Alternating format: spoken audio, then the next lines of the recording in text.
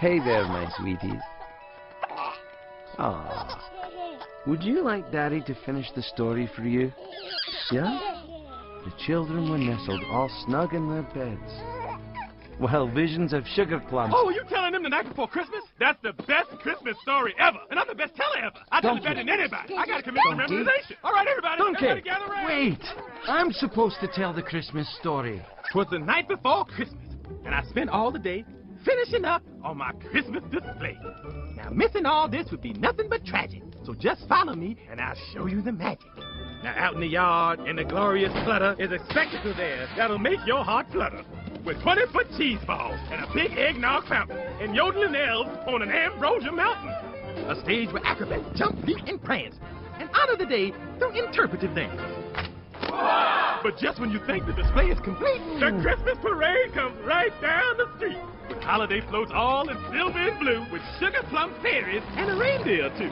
There's a baton twirling snowman all happy and perky, magical peacocks, and a dancing roast turkey. Everybody dance now!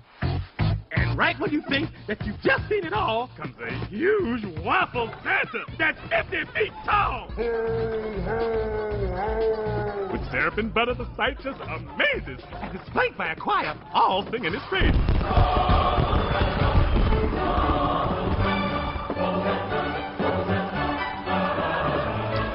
Donkey!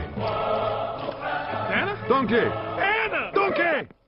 Oh. Very inappropriate, amigo. Please, allow me. Ah, oh, puss, not you too. My homeland would tell a very different tale of the Santa Nicholas. He's not made of waffles. This Santa was suave. It was nothing like that. The Santa I know was a hot Latin cat. He was dressed all in fur from his head to his paws. And he stood there heroic, a real Santa Claus. Red are his boots. And so is his cape. His sword is a cane that tastes like crab cake.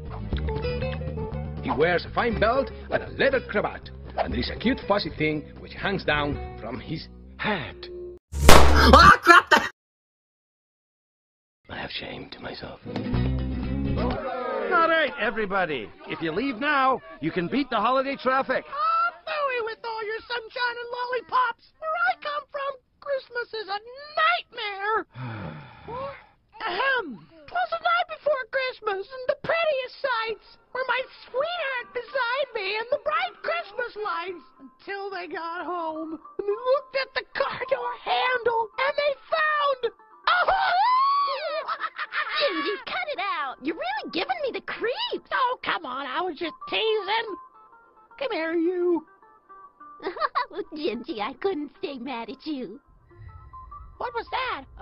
No, you don't. I'm not falling for that again. Oh, I'm really, really seriously not kidding.